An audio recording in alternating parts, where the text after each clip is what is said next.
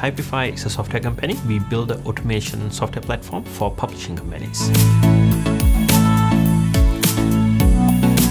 Main reason people want to use the software is it increases the efficiency in their publishing process or reduces their time to market. Traditionally, the way to make a book is you have an author who would author the book or the content creators who would create the content and then it would go into a production process and this is traditionally a very manual process with one or more graphic designers literally copying and pasting content from a Word document or some source document into a final laid out file. This could take somewhere between a few hours to a few months. Our software automates that process so after the editorial process is finished, it takes that content from that source file and then uh, creates automatically the outputs for PDF, print, EPUB, iBooks, Kindle, and so on.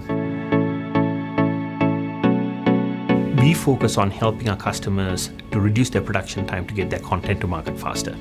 Typefi also enables customers to output their content into multiple formats, not just online, but in many formats, over 30 formats. We have many customers who use Typefi to access all these other platforms at what they call zero incremental cost. Typically, our customers would save somewhere between 60 to 80% of their production time. Time is the primary driver. Obviously, if you reduce a process that used to take 70 man days into 6 man hours, then that is reduce your cost substantially. But also it's going to increase your revenue opportunities. So if you're first to market with a product, there's a much better chance that you become dominant product in the market great to win the 2016 Export Award for us. It helped us get more momentum in the Australian market. It helped us validate our business model, especially in Australia.